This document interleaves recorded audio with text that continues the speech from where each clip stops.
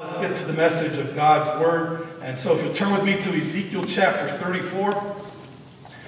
Ezekiel chapter 34 is a passage of Scripture that for, for many, many years as, as a, a pastor, it, it, it's, it's been a, a, passage of motivation for me.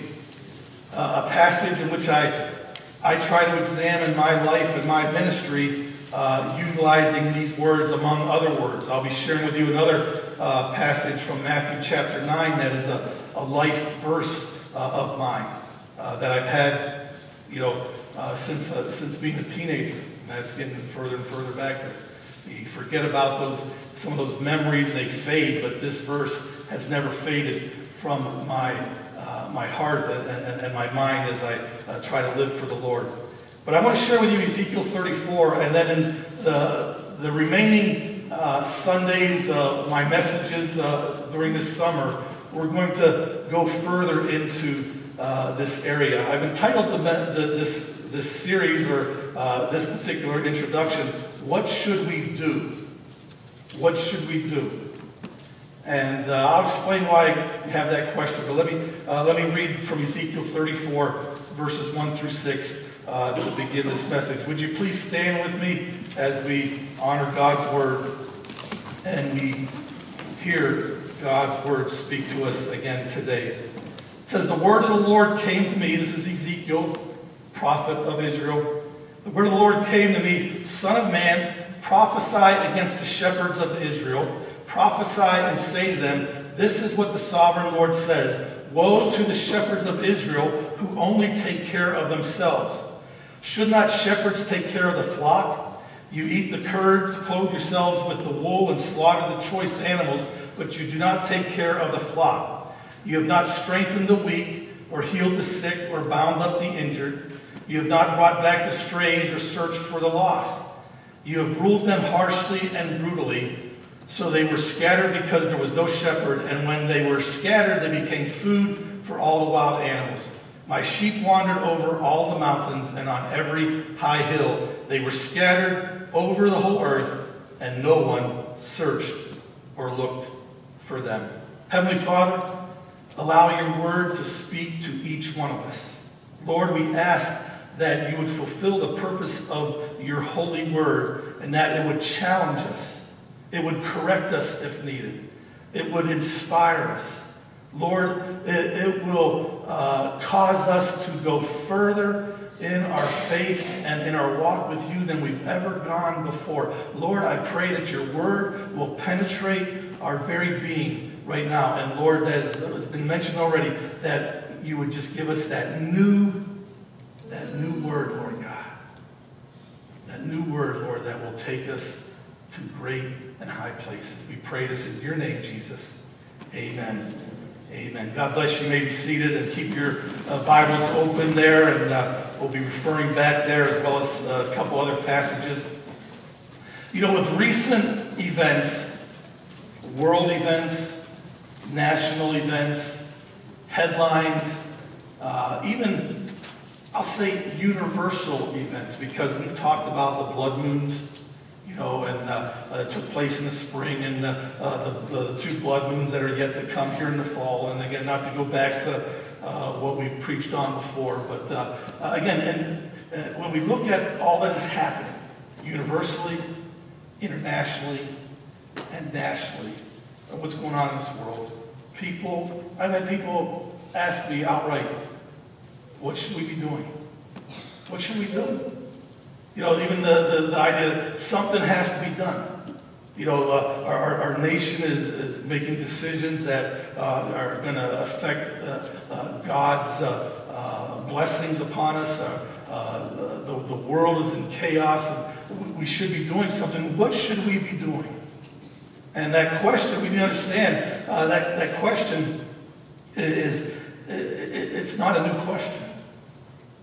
It's not a new question that people have asked and that even asked uh, of the Lord. Uh, what, what, should we be doing? We, we, we, we need to understand everything that's taking place. Universally, internationally, nationally. It's pointing to the imminent return of Christ, his second coming. That he prophesied, that God's word prophesied. He, Jesus himself said that uh, he would come again, he would return. And so it all points to that, his, his imminent return. You know, uh, but, but what should we be doing? What should we be doing? How can we change the, uh, the, the course of this world? How can we change uh, the course of our nation? We need to understand that this is the same question, literally, that was asked by multitudes of John the Baptist. I'm not going to read from it, but in Luke chapter 3, you can kind of maybe, uh, in, fact, in fact, Luke chapter 2 is written there in your sermon notes as far as a reference. And I encourage you to maybe spend uh, some time there this week just on your own.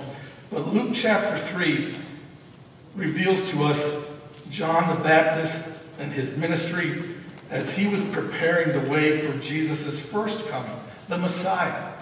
The Old Testament points to the coming of the Messiah, and, and uh, uh, suddenly, where there hadn't been any uh, word from the Lord for even centuries, you know, the, from the Old Testament to what we now call the New Testament, John the Baptist was raised up and God sent him to begin to prepare the way for the Messiah, God's Son, Jesus Christ. And so John the Baptist, uh, we, find him uh, in the wilderness, in the desert, and he's, he's preaching and uh, he's sharing uh, uh, the, the, the, truth of repentance for the forgiveness of sins. And, and he's uh, teaching the people and telling them to produce fruit in keeping with their repentance and their faith in, in the Lord. And, and uh, just preparing them that the Messiah is, uh, is there. He's there already. He's there. And he's going to be revealed. And the people were told in Luke chapter uh, 13 uh, that, that, the, that, the, people uh, came to John the Baptist, and the crowd asked, What should we do then? What should we do?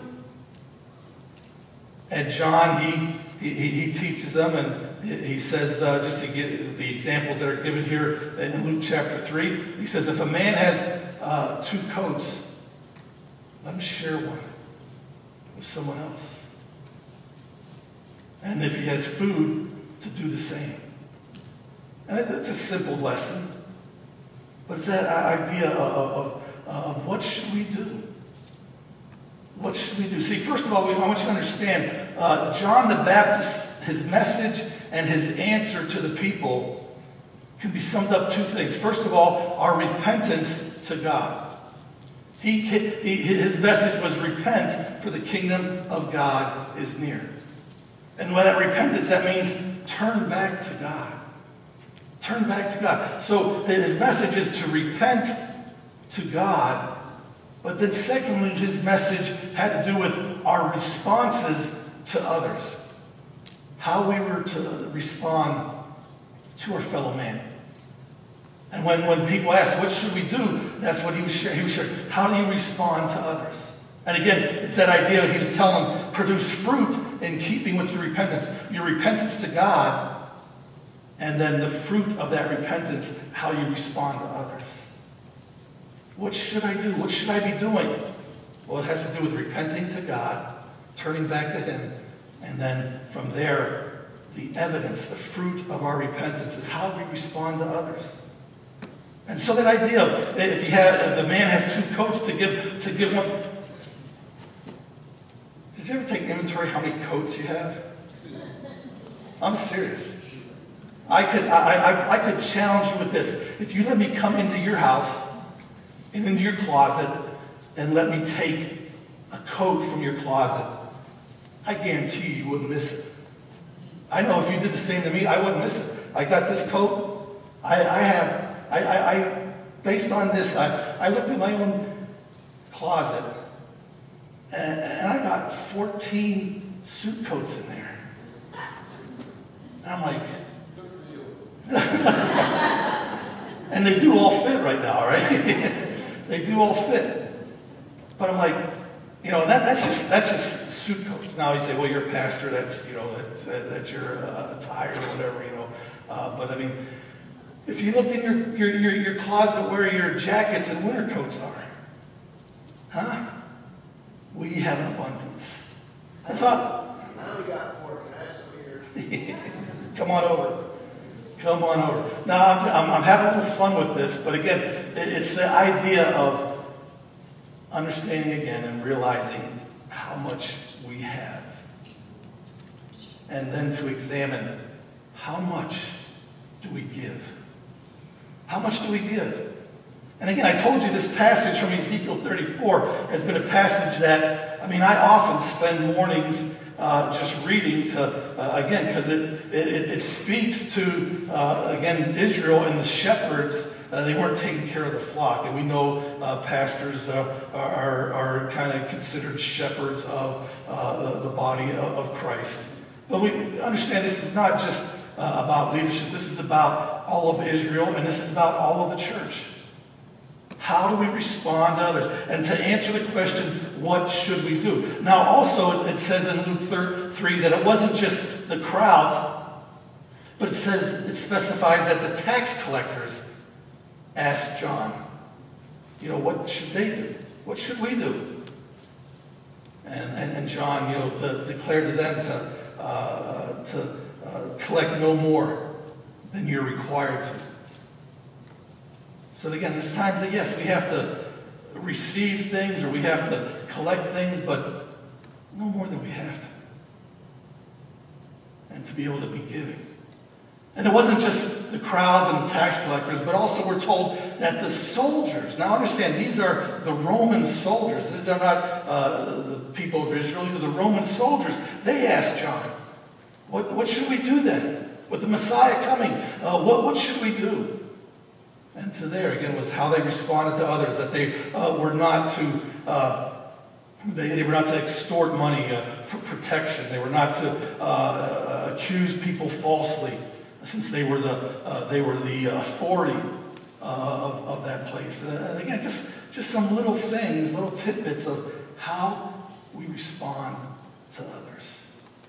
Because again, see, we, we get wrapped up in everything that's going on, everything that's taking place universally, internationally, and nationally. And what should we do? We've got to do something. It still comes down to what do you do every day toward your fellow man?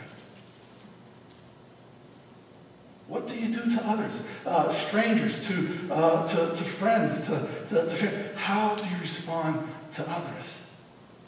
How, how, how do you share? How, how, how do you give? And so uh, we're, again, we're going to be talking about this over the, the rest of the summer and the, the, messages that I, that I have. And, and, and so uh, we, we see here in Luke 3 and then Ezekiel 34, I think uh, the, the answers of to what should we do? In lieu of everything going on, what should we do? We don't use it as an excuse and say, oh, the Lord's coming. It could be uh, this September. It could be the, tonight, you know, so let's do nothing. No, that's, that's not the answer. we need to see our fellow man and to understand that God has given us a purpose. Well, we see God's expectations of service for his believers, utilizing Ezekiel 34. There's, there's five things, there's five specific things there. I don't know if you saw them, and, and, and it's in verse 4. And, and it kind of almost can become a little bit of a checklist for our church and, and a checklist for you personally uh, to say, you know, what should I be doing? Well, real quickly, I'm like, again, over the, the coming weeks, I'll share uh, about these, but uh, it says to, to strengthen the weak. To strengthen the weak. It's uh, God's expectations of service for us is to heal the sick, to care for the hurting, to bring back the strays, and to seek for the lost. It's all in verse 4 there.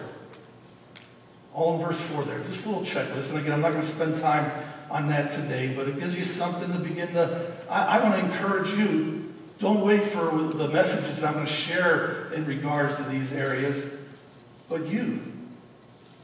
Examine the scriptures, examine your heart, and ask the Holy Spirit uh, to show you what you should be doing in strengthening the weak, healing the sick, caring for the hurting, uh, uh, bringing back the strays, and seeking for the lost. Well, you know what? This is very similar. Ezekiel 34, this is pretty similar to a teaching of Jesus.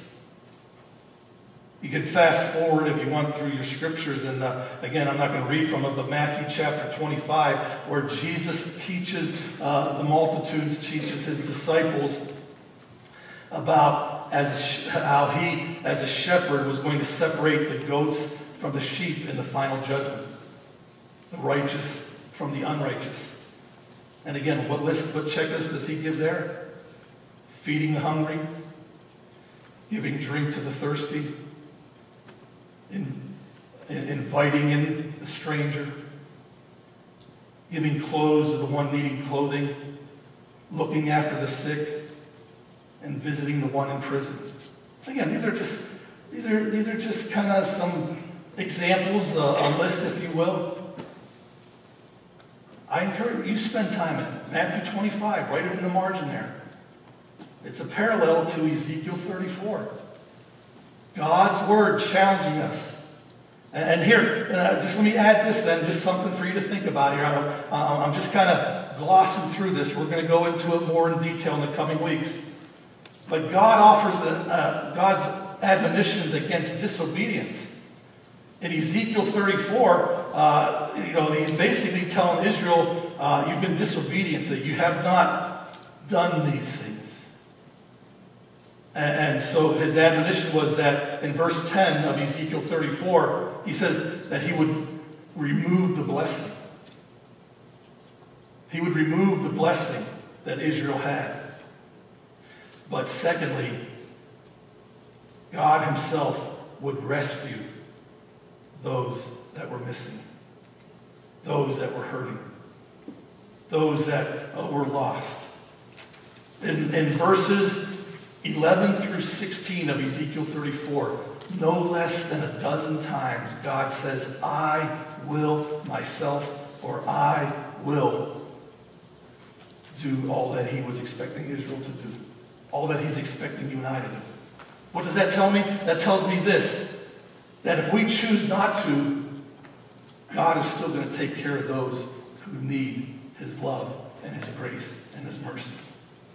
But woe to those who are disobedient and those who look after only themselves. So, what should we be doing? What should we be doing? In a way, Ezekiel 34 is a prophetic word for the coming of Jesus Christ. When God says, I will myself rescue the people, I myself will heal them, I myself, he, he, he's saying that I'm going to come and do what I've asked you to do. And that's what Jesus did. Jesus came. And so we see this as a prophecy of God coming as a, a baby, and sending his son to make the plan, to make the way for all mankind to know the blessings and the abundance that God has for them. So that even if Israel didn't do it, even if the church doesn't do it, God himself will see to it that every person has that opportunity to experience God's blessing. But he wants us to do it. And so we, uh, again, Matthew chapter 9, if you turn with me to Matthew chapter 9, I want to add this passage here. And again, this is one of my life verses. Matthew chapter 9 and verse 36. But I want to read verses 35 through 38 for you. And again, you, you, you, you go back and you, you've heard me share this passage many, many times. But it says here, Matthew chapter 9, Jesus went through all the towns and villages, teaching in their synagogues, preaching the good news of the kingdom, and healing every disease and sickness. When he saw the crowds, he had compassion on them because they were harassed and helpless like sheep without a shepherd. All right, that that echoes Ezekiel 34.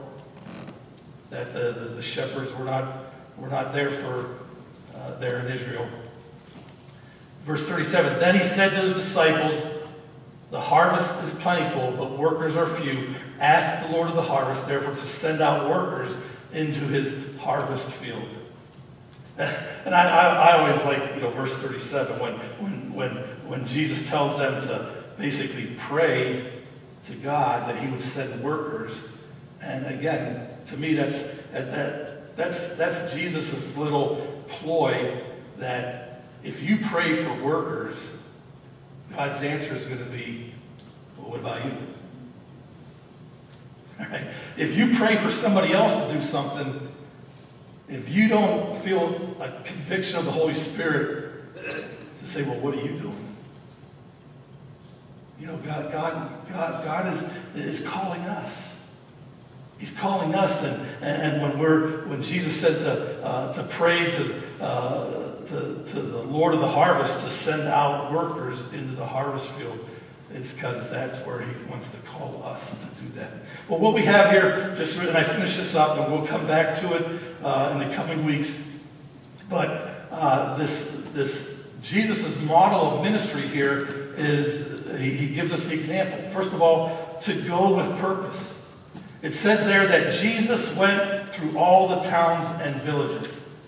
And we understand he went with purpose. And, and, it's something he, he had already come with purpose. He came, he was born of a virgin, he was born supernaturally, he became uh, the form of a, uh, of a human being. He left his uh, seat of glory as God, and he became uh, a mortal uh, man uh, with, for a purpose, with a purpose. And, and, and, Jesus in his ministry, every day, there was purpose to his ministry. There was purpose to his teaching. There was purpose to everything he did. And, and so we need to understand it, it starts with the example to go with purpose. You and I, we have a purpose as well. You and I have, have a purpose. Uh, we're not just to exist. We're not just to uh, live out this life and, and whatever will happen will happen. Uh, God wants us to go every day. He wants us to go with purpose. That as Jesus went with purpose, God wants us to go with purpose. To go with purpose. And, and God's word is full of these exhortations of, of what he wants us to do and what we should do. Ephesians 2.10 says, For we are God's workmanship, created in Christ Jesus to do good works, which God prepared in advance for us to do. He has a purpose for it. He has a purpose for you. He has, he has a purpose for me. And everything we do, we must do with purpose. And, and not the purpose to say, oh, I'm going to uh, increase my bank account, I'm going to uh, increase my possessions. That's not the purpose that God has for us. He says, don't lay up treasures that, uh, that are going to rust and, and, and corrode and, and waste away, but lay up treasures that are eternal. That's the purpose that God has for you and I.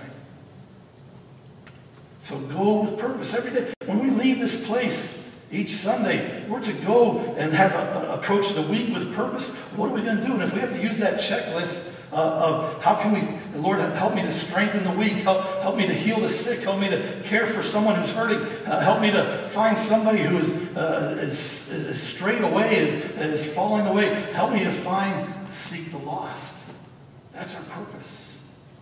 It's not just to clock in each day and put in our time and, and then come, come home, but it, it's to live with purpose, God's purpose. And secondly, we see Jesus' model of ministry to go with purpose, to look with intention. What does it say? Jesus went through all the towns and villages, all right? Then it says, verse 36, when he saw the crowds. See, he was looking with intention.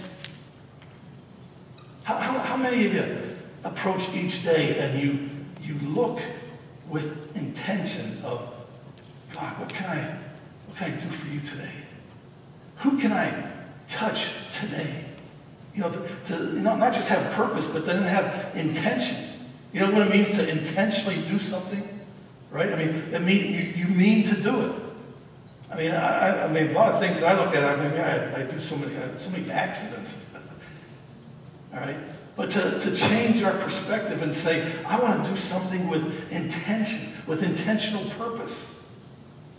With intentional purpose. To look upon somebody with an intent to do something, to bless them, to touch them in some way. And that's what Jesus said. It says when he saw the crowds, he already, he, he, he already had a desire, an intention uh, to do something.